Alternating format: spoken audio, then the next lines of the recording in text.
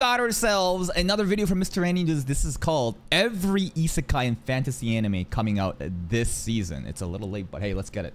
It's a bit late since I was over at Anime Expo this weekend, but here's every isekai Anime Expo is like Anime Con, where a bunch of people that don't shower and cosplayers show up and talk about anime. Is that what Anime Expo is? I've, I've never been to one. Kai and fantasy anime coming out this season.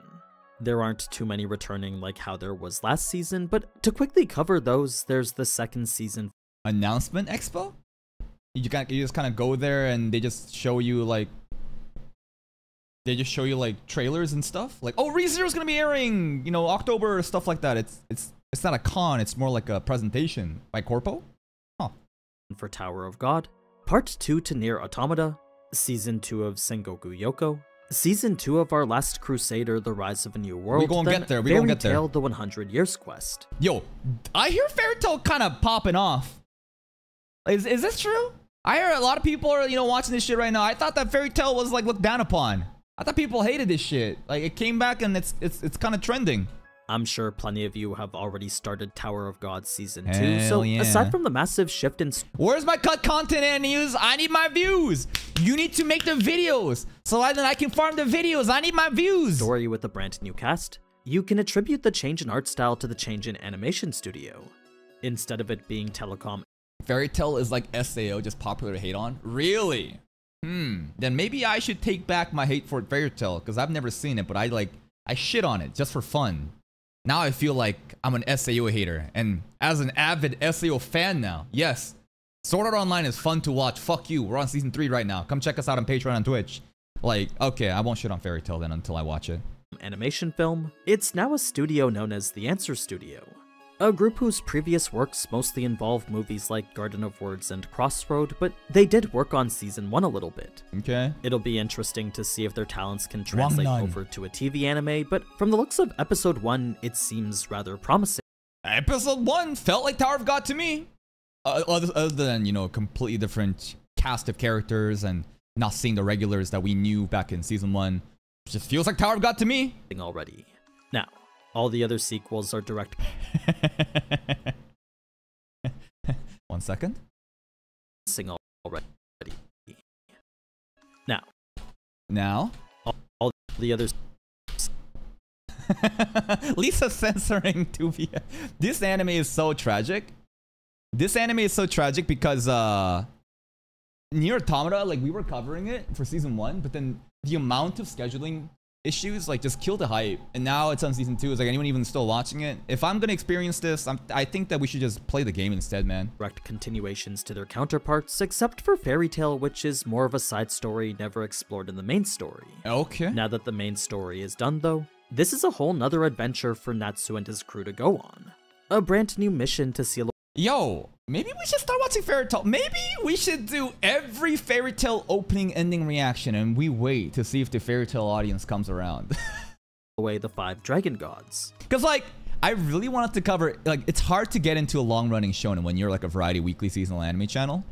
Fun fact if there's any aspiring anime reaction channels that haven't started yet, don't do what I'm doing. Do not react to random seasonal weeklies. Don't do it. That's the fastest way to kill your channel before you even start. I only got here through brute forcing community series after I realized what to do, okay? Focus on like every opening or ending reaction for one specific series. One popular one. Naruto, One Piece, Fairy Tail, whatever. This is what I did on my second channel, cawcawTV 2 for Beyblade. And then the algorithm hits, you get that audience, and then you only make videos on that topic. And that's how you grow really fast. Fairy Tail, I, I don't know. I, I was talking about like, you know, we should we do Hunter x Hunter, Black Clover. But like Fairy Tail's on the table too now if it's actually good. It's a whole new anime being done by JC Staff this time, spearheaded by the same director responsible for the previous seasons. So, though the animation and art style might be different, the overall tone and feel should be similar to the Fairy Tail from 2018 and before. I don't even know. Moving on to the more new anime, first and foremost we have ah. Suicide Squad the Isekai. And I'm glad that we checked it out. I love the ending. Amanda Waller dancing. that shit hilarious. I still think that's the best ending of this anime season. Unfortunately, the fall off is crazy in terms of viewership because I think it's as simple as every new season, people see a new title, right? Days with my stepsister. Oh my god, viral. You know, Senpai is a trap. Oh my god, viral. Right? Suicide Squad. Suicide Squad's getting an anime. Oh my god. They check out episode one, then they realize, oh, it's just not much what I expected other than that. And then it kind of just dies down. Isekai Suicide Squad was kind of that. I don't think the anime was bad. I thought it's like a 6.5 or like a 7 out of 10 so far. There's no interesting, like super big brain plot, but it's interesting enough to watch. And it's just Suicide Squad just fucking shit up and having fun, but it's just not, you know, what every audience that watched episode 1 was, I guess, looking for. So the drop off, it makes sense. It's pretty much exactly what you think it is, and looks to be about as good as an isekai with DC villains can get. You've got Joker. I say it looks better than most isekais we've watched recently, bro. Like Suicide Squad, like, like it's better than Failure Frame. I can tell you that much. Like Failure Frame, bro, the CGI difference is fucking crazy. But like, I think this shit's better animated. Peacemaker, Harley Quinn, and more, all starring as the main cast in what's pretty much your standard fantasy isekai setting. They're not reincarnated or magically teleported, summoned. but are instead sent in as a forward task. Yeah, not really summoned. That's this, yeah, you like sent.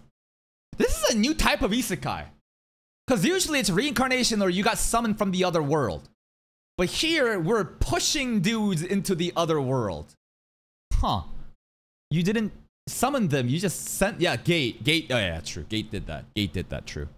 Task Force. One responsible for securing an area that the Argus facility can conduct research and acquire resources.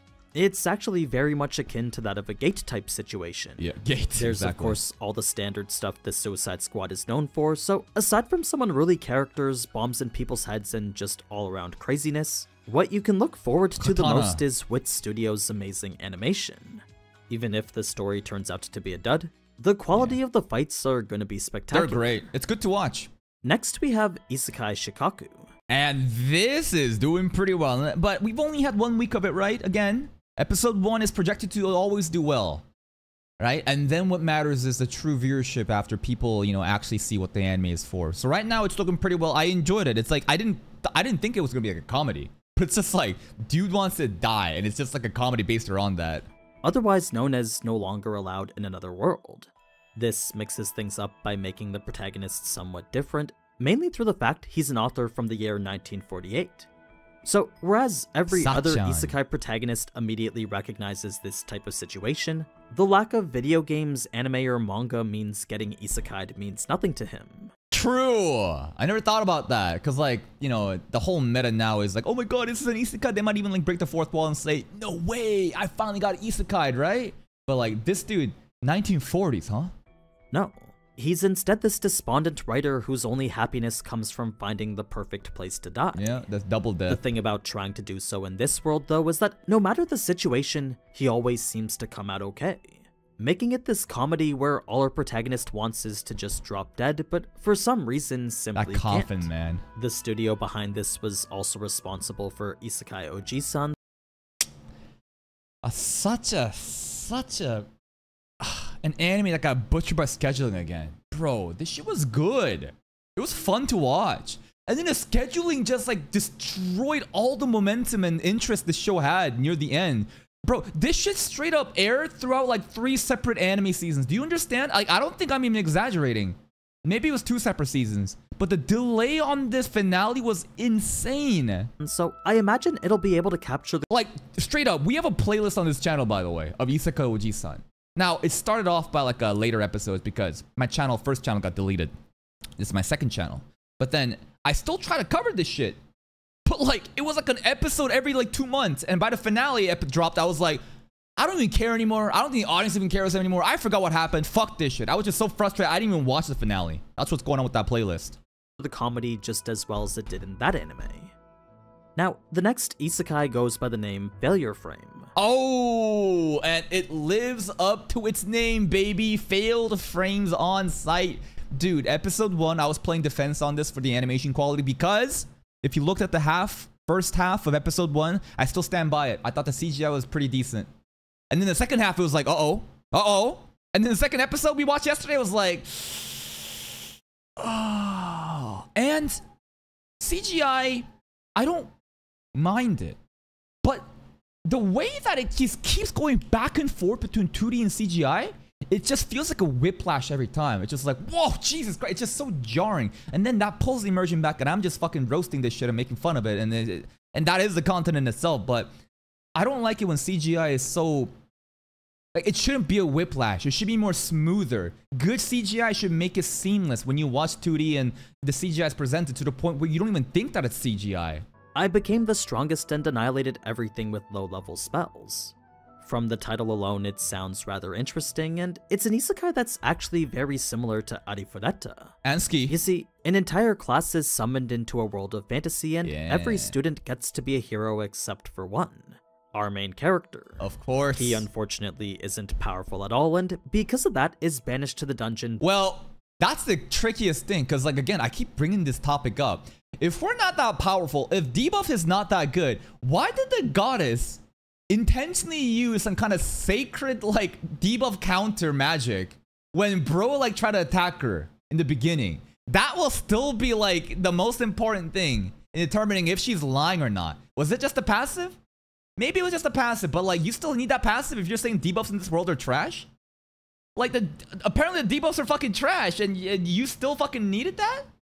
I don't know. I feel like she's lying, especially because like she said low success rate and debuffs are trash, but we're like landing every debuff. That still hasn't been explained. Maybe it's like a gimmick. Maybe what the goddess said is true for most people with debuff powers, but our main character is a fucking main character. That's why the same rules doesn't apply to him. Who knows? Because of that, is banished to the dungeon by the goddess who summoned him. Well, as it turns out, he actually does have a power that's quite useful, and he ends up using it to make it back from the dungeon. Sleep, paralyzed, After which the story turns more into a revenge plot. yeah. So if you like edgy power fantasies similar to Arifureta, then Failure Yes! Frame might be worth checking out for you. yes. Something a bit more tame is the slice of life isekai, a journey through another world, raising kids while adventuring. I enjoy it. It's fun to watch. It's just soul healing, just wholesome.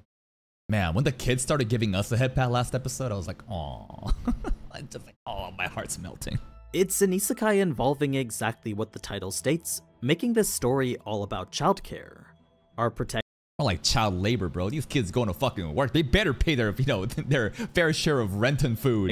is reincarnated into a dangerous forest, only to find himself confronted by two very powerful children. Water God's They're a children. pair of what I assume are orphans who he ultimately decides to take care of himself. The story then follows the adventure they go on, and that's pretty much what you can expect from this isekai. Another There's nothing like crazy or special about it. It's just, I don't know, just slice of life cunny moment. Just fun, just chill show to watch. Just decent on uh, you know, YouTube too, which surprised me. I, I I didn't think that um people would uh, enjoy this type of reactions, but like plenty of people I guess kind of enjoy that. You saw someone saying Failure Frame Anime is a better adaptation than Arifureta?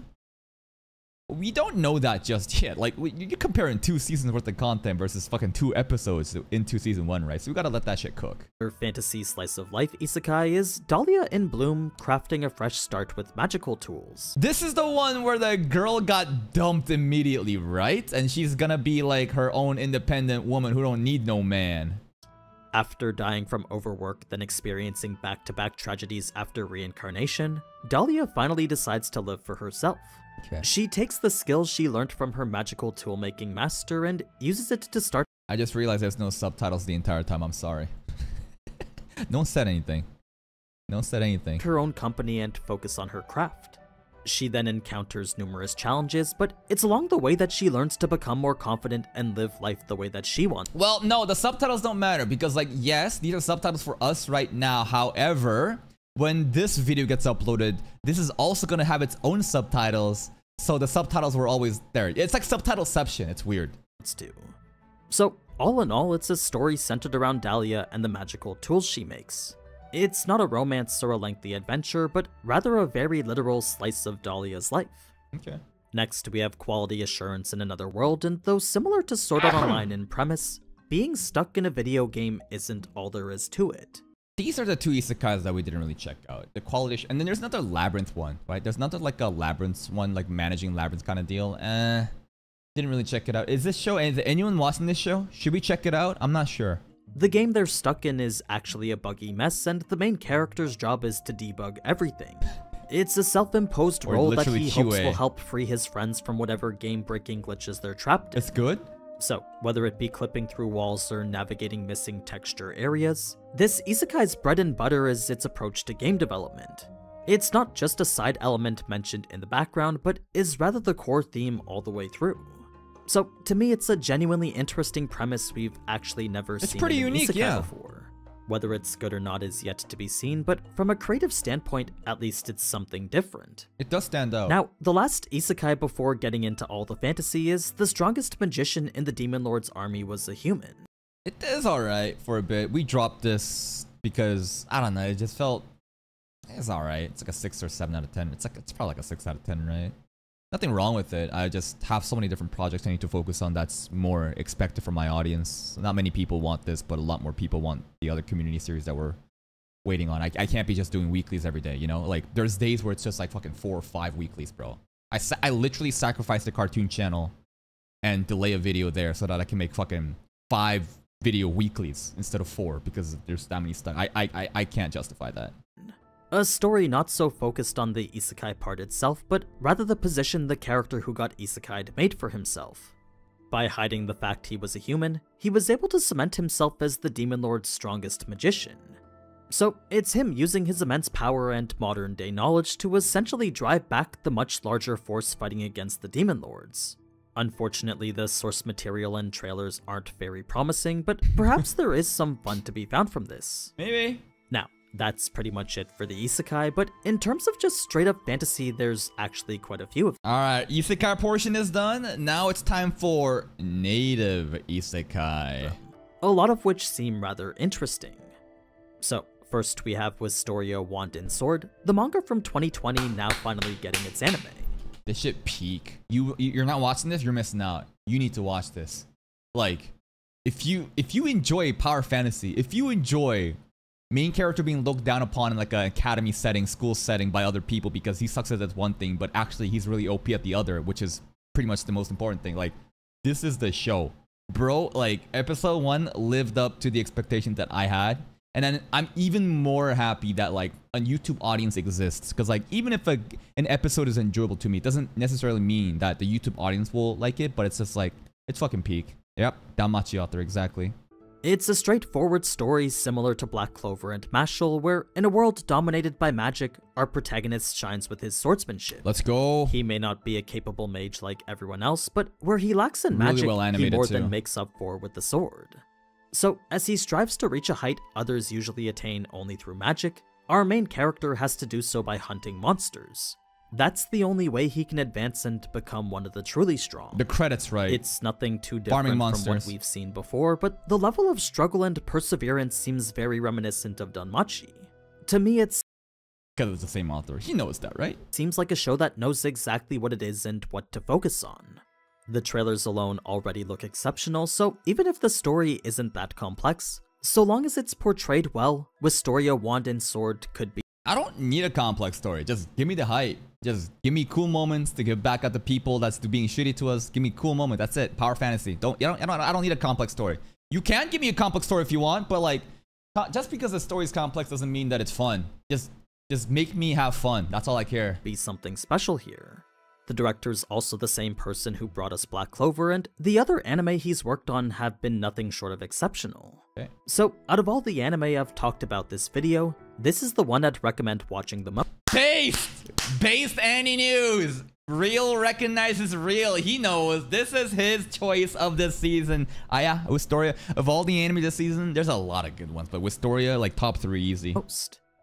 Next, we have I Parry Everything, which, as you'd expect, is a story about a character who, well, parries everything. It's it's. Not only does he parry monsters, he also par- like you'll see in this. If you watch this, it's not just like monsters attacks that he parries. He like parries like girls' request for like not a date, but like other people are like, "Oh, please, you need to take this reward." He's like, "Not parried." I like this. It's. I don't think it's like the best anime I'm watching right now. It, it's probably like somewhere around six or seven out of ten right now. I, it's still enjoyable. I love the concept of he only parries. One trick pony concept is very compelling to me. There is a whole political conflict going on around him too, but for the most part, our protagonist is set on becoming an adventurer. poop shoveler. He'd spent the last 10 years becoming super OP 14 years in total. and has now finally resurfaced to find himself involved in something more. The rest is him using his power to solve whatever conflict, and that's pretty much what you can expect from this. Okay. In a similar vein, we have the Osen Newbie Adventurer, which follows the Osen newbie. Not Osan newbie, Osen newbie. Oh, is that anime good?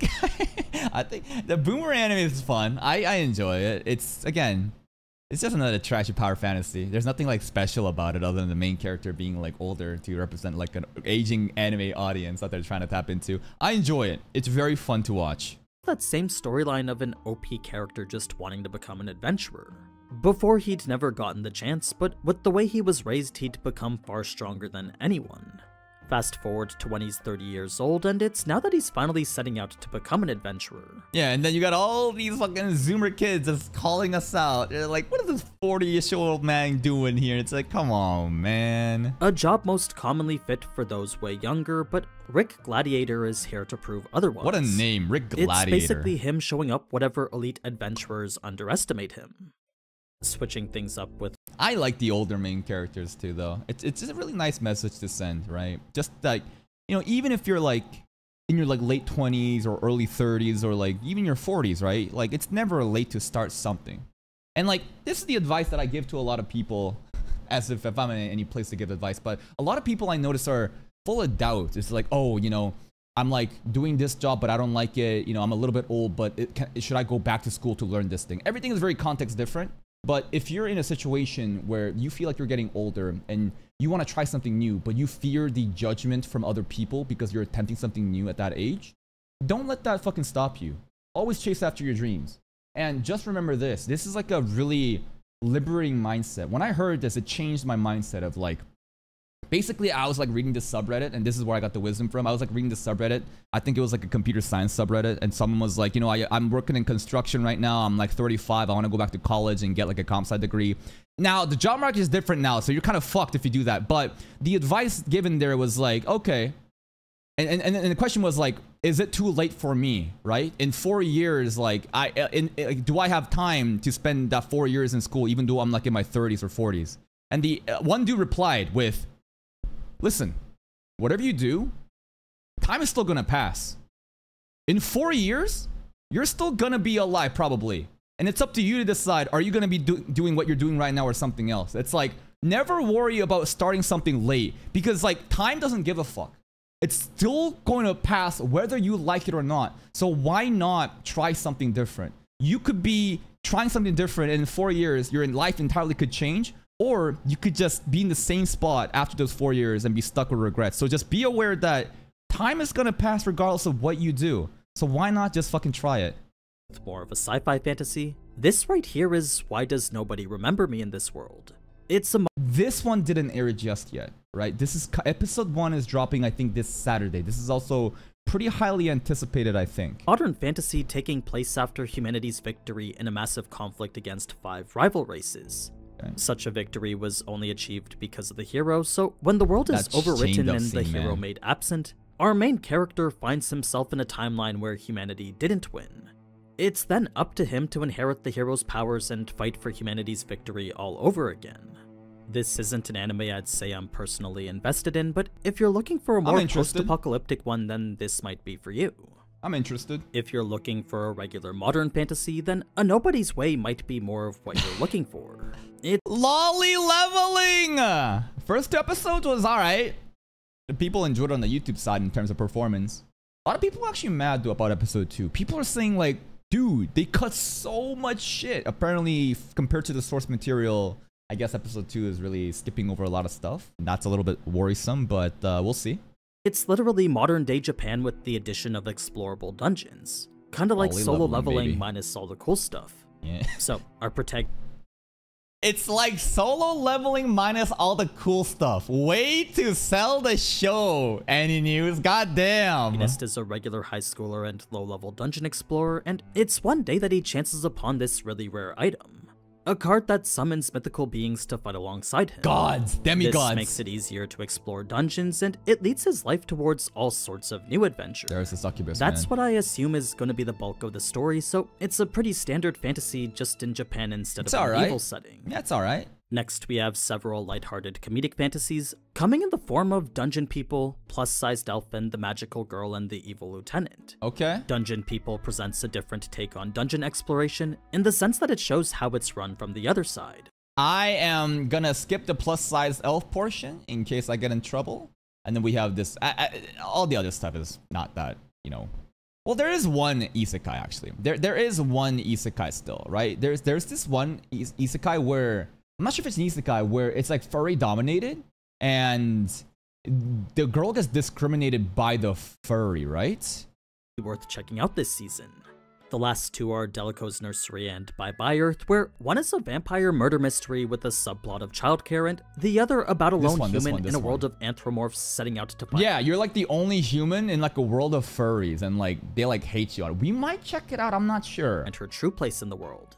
The former is only fantasy because of the vampires, Dude, the, the vampire show, this shit straight up looks like a husbando fucking nursery. Like shit looks like it looks like BL Yaoi fan service, but like it's it's all the husbandos, you know, daycare for babies. Anyways, that's all the isekai and native isekai happening, you know, this season. If there's any titles that, you know, please go give Mr. Aninews a like on his video, sub to his channel if you haven't. But like let me know if you of all the shows that we've watched, you know, and haven't watched, like let me know if there's anything that we should be checking out.